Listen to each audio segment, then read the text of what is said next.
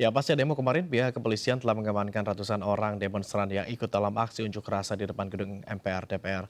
Dan saat ini kita masih akan membahasnya lebih lanjut bersama Ade Irfan Pulukan selaku tenaga ahli utama KSP dan Kaharudin, koordinator pusat BMSI. Selamat sore, Pak Ade. Selamat sore.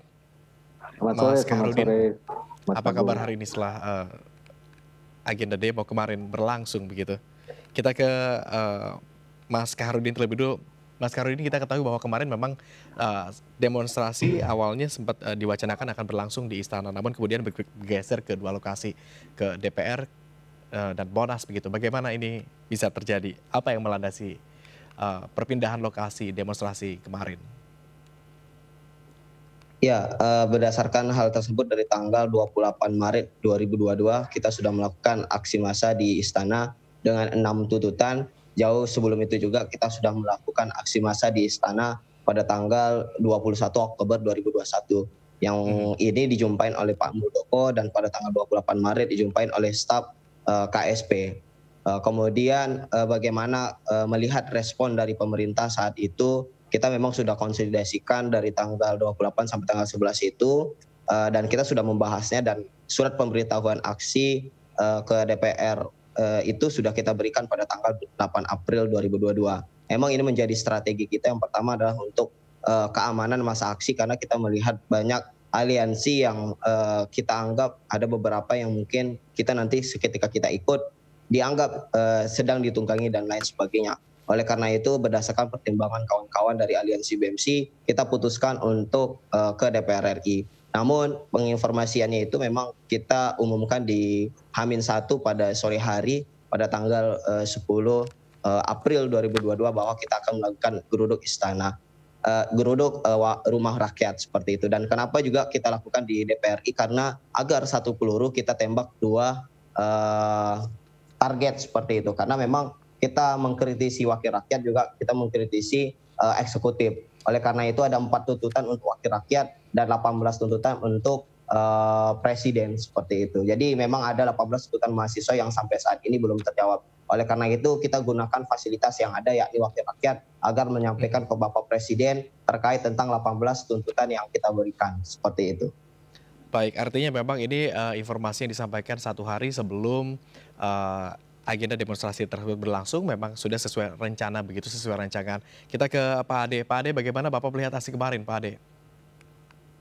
Ya, eh, kami melihatnya sebagai sebuah gerakan mahasiswa ya yang hmm. menyalurkan aspirasinya kepada pemerintah. Ini adalah sebuah dinamika bentuk dari demokrasi. Karena eh, mahasiswa itu kan sebagai agen perubahan, agen agen of change ya dia mengontrol dia uh, mengawasi uh, apa namanya kebijakan pemerintah yang keliru keliru uh, kalau keliru ya keliru dan memperbaikinya dengan kritikan yang konstruktif dengan kritikan yang membangun. Tuh tidak bersifat anarkis tidak bersifat uh, mengganggu ketertiban gitu. Nah, kami memandang uh, adik-adik uh, teman-teman mahasiswa kemarin ini ya, sebagai upaya perwujudan dari sebuah demokrasi, penyampaian aspirasi, penyampaian pendapat di muka umum. Dan itu memang sudah diatur oleh Undang-Undang Dasar ya pasal 28 dan Undang-Undang Nomor 9 tahun 98. Bagi kami ya sah-sah saja dan memang seperti itulah seharusnya mahasiswa menyampaikan aspirasinya uh, dengan dengan tentunya menjaga ketertiban dan apa uh, sesuai dengan norma hukum dan regulasi yang ada gitu. Gitu. Pak Ade, seberapa besar peluang uh, aksi demonstrasi yang kemudian termasuk aspirasi-aspirasi yang disampaikan pada saat demonstrasi tersebut berlangsung ini kemudian akan diakomodir oleh pemerintah. Seberapa besar kemungkinannya? Ya, sepanjang itu realistis dan hmm. memang hmm. uh, menjadi koreksi yang positif ya, kenapa tidak kan? Perlu direspon. Tapi Eh, sebagian besar kan sudah dijawab, sudah hmm. disampaikan kepada publik sebelum aksi mahasiswa itu. Ya, jadi uh, sebenarnya tidak ada lagi yang harus kita perdebatkan dengan sebuah uh, sudut pandang yang berbeda terhadap kebijakan-kebijakan uh, pemerintah yang dianggap keliru oleh hmm. sebagian kelompok gitu. Gitu. Kita ke Mas Karudin, Mas Karudin. Aksi kemarin apakah memang sudah cukup uh, dirasa uh, puas menyalurkan aspirasinya tersebut? Ya, untuk dari mahasiswanya saat ini kita belum menang karena apa kebijakan dan tuntutan kita masih ada yang belum terjawab. Mm-hmm. Sehingga dan saat ini tuntutan kita terfokus pada penundaan pemilu atau masa jabatan tiga periode. Padahal masih ada terkait tentang mm-hmm. bagaimana hari ini menunda dan mengkaji ulang e, ibu kota negara baru karena ada kondisi pandemi saat ini bagaimana APBN yang digunakan itu bagaimana bisa untuk kebutuhan rakyat. Kemudian tentang stabilitas dan ketersediaan bahan pokok kemudian bagaimana mengungkap mafia minyak goreng. Dan hari ini kita melihat bagaimana dari tanggal 28 sampai tanggal 11 keluarnya kebijakan naiknya kenaikan BBM dan PPM. Contoh Pertamax, naiknya pertama dan dari mahasiswa melihatnya ini pemerintah terkadang e, menguji tes ombak kepada publik. Ketika ombaknya kecil, kebijakan tersebut akan maju terus. Ketika ombaknya besar, maka akan dibatalkan seperti itu. Jadi hari ini kita melihat Pertamax naik, kemudian stok Pertalite di masyarakat dikurangin sehingga masyarakat uh, membeli Pertamax dengan keterpaksaan. Seperti itu yang dari mahasiswa menilai gimana Oke, realitas. Mas Karidin, tapi optimis atau tidak uh, aspirasi yang kemarin disampaikan ini kemudian akan diakomodir oleh pemerintah?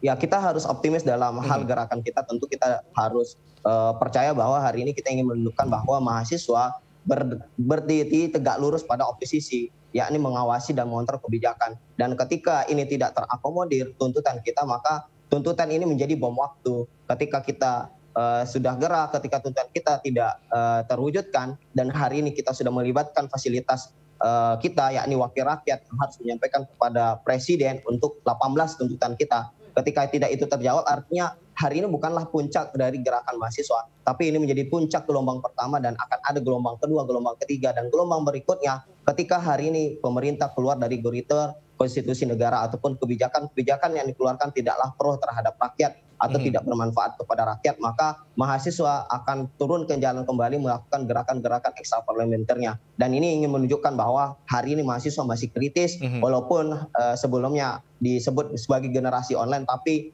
diskursus diskursus di mahasiswa harus tetap aktif dan BMC menunjukkan bahwa dengan bergerak selalu ada kajian disertai dengan tuntutan agar tidak ditumbangi ditunggangi oleh kelompok-kelompok lain yang memiliki kepentingan. Jadi kita Baik. bergerak berdasarkan kajian seperti itu. Baik, Anda optimis bahwa aspirasi-aspirasi yang kemarin disampaikan ini kemudian akan uh, diakomodir oleh pemerintah. Apakah uh, karena ada bukti-bukti konkret yang kemudian uh, membuat Anda begitu optimis, begitu yakin bahwa ini akan diakomodir? Seperti kami dalam catatan ini ada pernyataan Presiden Jokowi memang sudah tiga kali menyampaikan uh, bahwa pertama terkait taat konstitusi, kemudian Menteri jangan dulu bicara urusan isu penundaan pemilu, kemudian juga beliau juga sempat menyampaikan bahwa pemilu 2024 ini akan sesuai jadwal, yang mana ini menjadi salah satu dari poin yang sempat disampaikan begitu oleh uh, rekan-rekan mahasiswa dalam demo kemarin. Apakah ini juga menjadi salah satu isyarat bahwa kemudian aspirasi tersebut akan diakomodir? Ya, hari ini mahasiswa akan mengambil peran tersebut bagaimana hari ini kita ada ketidakkepercayaan kepada pemerintah. Namun hari ini mahasiswa bergerak untuk mengambil kepercayaan tersebut agar kebijakan-kebijakan yang dikeluarkan oleh pemerintah haruslah pro terhadap rakyat. Bahkan rapat dilakukan pada hari Minggu hampir satu sebelum demo kan. Jadi itu memang sudah kita strategikan ketika kita lakukan ke istana mungkin dipelintirkan hmm. kembali kan presiden sudah membicarakan tapi kita jauh sebelum itu kita sudah membaca strategi tersebut bahwa itulah kita menggunakan fasilitas DPR RI agar menyampaikan kepada Bapak Presiden Baik, dan kita juga ingin menyadarkan wakil rakyat.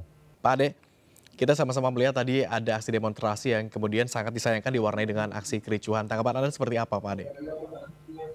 Ya, justru itulah kita selalu mengingatkan kepada adik-adik uh, mahasiswa ketika melakukan gerakan itu ya uh, jangan selalu diakhiri dengan sebuah kericuhan jangan sebuah jangan selalu diakhiri dengan sebuah bentrokan fisik sebuah uh, kekacauan melanggar ketertiban dan lain sebagainya. Yang itu akan menjadikan perspektif publik masyarakat ini melihat aksi gerakan mahasiswa ini menjadi negatif, menjadi brutal, menjadi uh, tidak baik lagi, tidak idealismenya tidak ada lagi, hanya sekedar uh, menggunakan aspirasi untuk apa namanya mengacaukan apa namanya ketertiban umum dan lain sebagainya.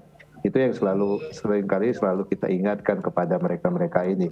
Silakan mengeluarkan pendapatnya, silakan uh, mengajukan uh, kritikannya, tapi kan harus juga melihat ketertiban umum karena ada hak orang lain di situ ketika kita uh, menggunakan hak kita gitu. Nah uh, ini selalu uh, sering kali berulang-ulang kali kan. Jadi saya pikir uh, penyampaian penyampaian pendapat itu ya tidak dilarang. Tadi hmm. sudah saya katakan itu sudah diatur dan uh, menjadi apa namanya kebebasan kita bersama-sama dalam hal uh, penyampaian aspirasi di muka umum. Gitu. Tapi yang patut kita sayangkan jika terjadi kericuhan dalam sebuah aksi gerakan mahasiswa itu pasti uh, apa tuduhannya adalah kepada gerakan mahasiswa ini apakah mereka akan ditunggangi apakah mereka akan disusupi hmm. Ya oleh provokasi-provokasi yang mempunyai kepentingan tertentu kita kan tidak tahu Oke, kita, Anda meyakini kita bahwa demo ini jika mengikuti aturan maka tidak akan ricuh begitu? Maksudnya ini aturan ya, yang seperti jelas. apa? Ya, kemarin kan informasi dari Kapolda ketika uh, apa namanya komunikasi yang sudah dilakukan oleh pimpinan DPR dan mahasiswa sudah beranjak meninggalkan DPR, hmm. ternyata ada masih ada sekelompok orang lain lagi merang, merangkak ke DPR dan di situlah uh, cikal bakal terjadi kerusuhannya. Kita Kericuan tidak tersebut. tahu bisa membedakan mana lagi masih yang namanya mahasiswa itu kelompok masyarakat yang uh, memang sengaja punya niat, punya rencana untuk mengacaukan aksi-aksi mahasiswa ini. Nah, saya pikir itu yang harus dijaga, itu okay. yang harus dicermati oleh teman-teman mahasiswa. Mas Karudin, Mas Karudin silakan dikonfirmasi bagaimana ini kemudian uh, aksi demonstrasi justru malah diwarnai oleh uh, kericuhan. Ya, uh, saat di jadi di saat aksi itu ada beberapa aliansi hmm. di depan gedung DPR RI dan juga yang dari istana itu ketika kita pulang kita berpapasan gitu. Jadi memang hmm. ada yang beberapa yang dari istana itu aksi yang di istana itu lari ke DPR RI pada waktu itu. Namun ketika kita sudah menerima kajian dan tuntutan, kita melihat ada indikasi ricu dan kios karena uh, mulai masuknya uh, penyusup lain sebagainya dan kita tegaskan bukan penyusup tapi di luar dari kita buat bordir. Jadi di luar dari bordir gitu. Jadi yang melempar botol dan sebagainya ketika saat uh, di atas mobil komando bersama wakil ketua DPR dan Kapolri ada lempar botol dan sebagainya. Jadi memang setelah turun itu ricu kita memang jauh sebelum ricu itu sudah tarik mundur aliansi BEMS ini. Jadi ketika ricu itu terjadi, aliansi dari mahasiswa itu sudah membubarkan diri seperti itu. Hmm, tapi dari teman-teman mahasiswa sendiri, ini apakah sudah menghitung potensi terjadi kericuhan di dalam aksi demonstrasi tersebut atau belum? Ya, untuk uh, ketika konsolidasi uh, tek teknis lapangannya atau konsolidasi teklab kami sebutnya itu kita membicarakan bagaimana untuk menghindari kericuhan ini karena memang setiap kita melakukan aksi massa atau demonstrasi goals dari kita adalah tercapainya tuntutan dan kajian kita. Mm -hmm. Itu substansinya, bukan uh, ricu ataupun viral gitu terkait mm -hmm. Uh, tentang aksi masa kita. Tapi substansinya adalah terkait tentang tuntutan dan kajian kita sampai pada hmm. pembuat kebijakan, yakni siapa eksekutif dan legislatif dan terkhusus DPR RI, yakni pimpinan DPR RI yang ingin kita jumpai. Dan itu sudah berhasil dan tentu itu bukan menang, menang tapi ke depannya bagaimana mengawasi dan mengontrol agar tuntutan kita ini betul-betul terwujud seperti itu. Tapi ada tidak Mas Kahrudin upaya yang dilakukan oleh eh, dari rekan-rekan mahasiswa ini kemudian untuk mencegah uh, kericuhan itu terjadi atau bahkan mencegah adanya penyusup-penyusup yang seakan-akan mengatasnamakan mahasiswa. Di luar sana kan tidak tahu ini kelompok mahasiswa atau justru penyusup. Iya, uh, saat aksi massa di tanggal 11 April itu kita punya keamanan. Jadi PJ kampusnya itu adalah uh, Polimedia, eh, PNJ dan IPB hmm. saat itu sebagai PJ keamanannya. Jadi memang dia men mensisir di, jadi kita membuat persegi panjang, jadi kita buat bordir uh, persegi, persegi panjang sehingga di luar dari uh, bordir itu itu adalah bukan aliansi kita. Jadi memang disisir bahkan ada beberapa bahkan dari 10 sampai 20 orang sudah kita keluarin dari aksi aliansi kita untuk keluar dari barisan agar kita bisa melihat yang mana aliansi masa aksi kita jangan sampai kita mengorbankan masa aksi seperti itu. Oke kita ke Pak Ade. Pak Ade, uh, Anda juga tadi sempat uh, menyampaikan bahwa sepaham bahwa bisa jadi yang menimbulkan kericuan tersebut bukan berasal dari kalangan mahasiswa tapi penyusup. Dari kacamata Anda, sebaiknya siapa sebetulnya yang mengontrol agar tidak ada penyusup? Ya, siapa yang harus bertanggung jawab agar uh, kemudian aksi demonstrasi ini berjalan dengan baik tanpa ada penyusup? Ya tentu semua mempunyai tanggung jawabnya, apalagi teman-teman mahasiswa. Kan tentu mereka akan mempunyai koordinator-koordinator eh, keamanan, koordinator-koordinator lapangan, dan lain sebagainya. Nah itu yang harus terkoordinasi dengan baik antara satu elemen kampus dengan elemen yang lain. Supaya saling uh, punya apa? Punya uh, chemistry atau punya saling kenal mengenal gitu. Jangan sampai antara satu uh, kampus dengan yang lainnya tidak saling mengenal. Jadi uh, malah nanti jadi benturan di lapangan. Itu yang uh, patut disayangkan kalau itu terjadi. Makanya tadi saya bilang bagaimana gerakan mahasiswa ini ya uh, menyampaikan pendapatnya oke okay, tujuannya pasti ada. Tapi prosesnya dari awal sampai selesainya itu harus bertanggungjawabkan ya. Bisa sam jangan sampai misalnya oke okay, proses awalnya clear tapi proses akhirnya ini yang menjadi sering kita selalu melihat uh, aksi-aksi mahasiswa ini di akhirnya itu terjadi kerusuhan, di akhirnya itu terjadi kegaduhan, malah uh, ada korban. Kayak kita dengar kemarin ada seseorang yang dipukuli, mm-hmm. jelas udah bertebar viral videonya, memakai mm-hmm. juga jas alma mater. Kayak saya kita nggak tahu dari mana gitu.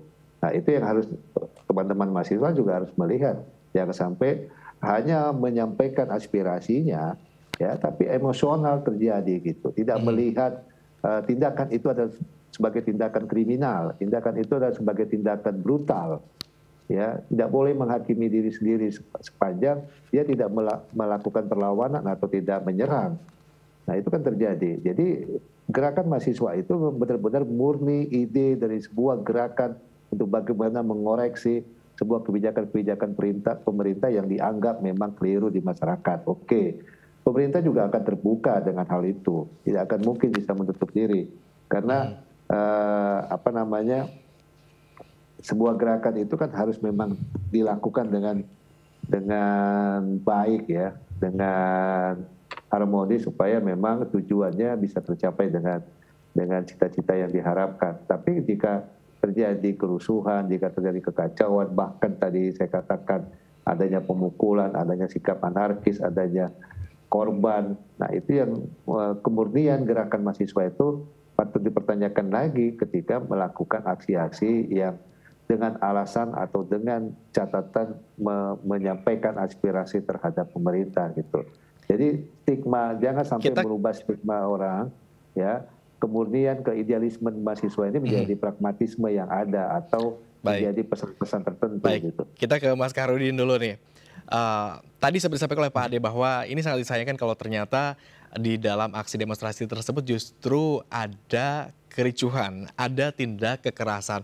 Mas Kaharudin bagaimana melihat ini? Ada tindak kekerasan, ada uh, potensi kericuhan yang justru sekarang boleh dibilang bagaimana jika terjadi kemudian lebih populer kericuhannya ketimbang substansi dari demonstrasinya.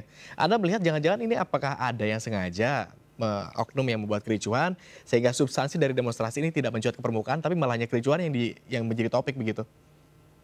Ya, uh, sama kawan-kawan, sama ma mahasiswa membicarakan tentang hal tersebut, bagaimana substansi dari tuntutan kita tertutupi oleh kekerasan.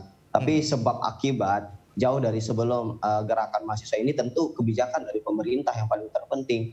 Jika tidak ingin mengorbankan masyarakat yang terjadinya demonstrasi, maka keluarkanlah kebijakan-kebijakan yang uh, pro terhadap rakyat, kebijakan yang manfaatnya itu bermanfaat lebih kepada rakyat, bukan kepada korporat atau beberapa oligarki-oligarki yang mhm. terkait mm-hmm. tentang pendukung dari pemerintah. Kan itu yang paling penting saat ini, bukan uh, terkait tentang uh, pragmatis. Mahasiswa hari ini mengkritisi bersuara itu bukan seperti anak kecil mm-hmm. yang sedang membujuk orang tuanya agar dibelikan mainan. Tidak, mm-hmm. tapi hari ini mahasiswa berdiri tegak lurus sebagai oposisi agar mengawasi, mengontrol kebijakan pemerintah. Itu yang paling terpenting, bukan tentang kericuhan lain sebagainya. Kalau terkait tentang penyusup, itu mungkin ada yang ingin mengoperasi gerakan mahasiswa agar substansi tuntutannya itu tidak tersampaikan. Tapi kita bergerak berdasarkan kajian dan dan tentunya dapat mobilisasi massa. Itu kekuatan mahasiswa, yakni kajian dan mobilisasi massa.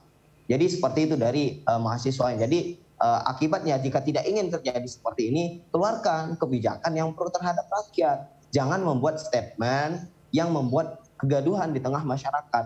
Nah itu hari ini kita mengambil peran tersebut agar menyelesaikan kegaduhan tersebut dan berdiri tegak lurus untuk mengingatkan kepada pemerintah, baik eksekutif ataupun legislatif, bahwa yang memberikan mandat kepada pemerintah itu adalah rakyat. Okay. Hari ini rakyat dan penguasa ini memiliki jarak Oleh karena itu membutuhkan katalisator. Hari ini mahasiswa hadir untuk menjadi katalisator tersebut. Baik, gitu. baik. Pak Ade silakan ada tanggapan. Ini katanya uh, buatlah kebijakan supaya tidak terjadi kericuhan. Tanggapan Anda seperti apa?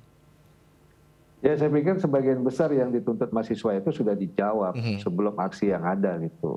Misalnya pas mengenai persoalan apa? Persoalan penundaan uh, pemilu tiga periode kan Pak Presiden sudah berkali-kali. Nah hari ini sudah ada dilakukan pelantikan komisioner KPU Bawaslu yang baru, mm -hmm.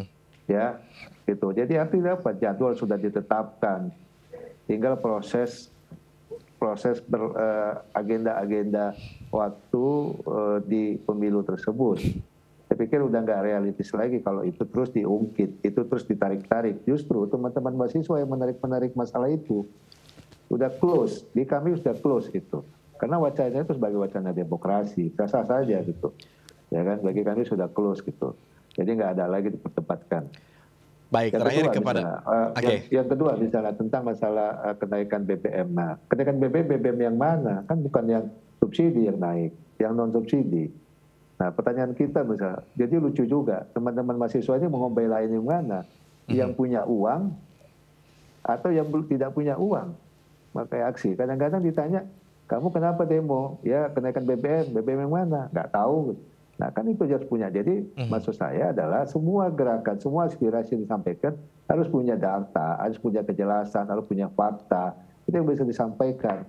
Jadi risetlah dulu, hmm. ya, dikajilah dulu secara matang, faktanya ada, baru bisa kita sampaikan gitu. Berdialog dengan baik, dengan elegan gitu. Tidak harus juga turun ke jalan, uh, mencaci maki, menghujat, ya Eh, dengan kata-kata kasar itu kan tidak bagus. Kita adalah hmm. makhluk bertuan, kita adalah makhluk beragama, okay. apalagi pada saat ini kita puasa, kita Mas... saling menghormati, menjunjung tinggi nilai-nilai uh, ibadah kita, Mas Kaharudin. ada penghormatan gitu. Kita ke Mas Kaharudin, ini tadi sempat disinggung oleh Pak Ade nih. Ini membela yang mana, yang punya uang atau yang tidak punya uang?